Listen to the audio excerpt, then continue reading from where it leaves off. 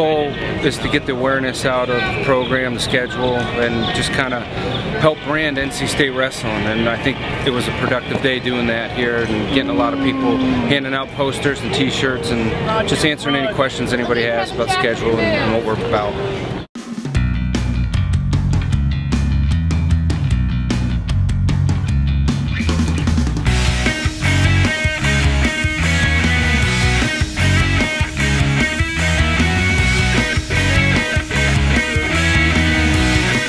Yeah, you know, well, the purpose of this is to help raise awareness for wrestling.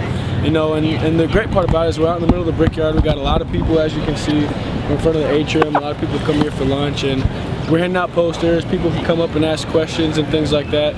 And, um, you know, hopefully this will help get more people to come out watch the match.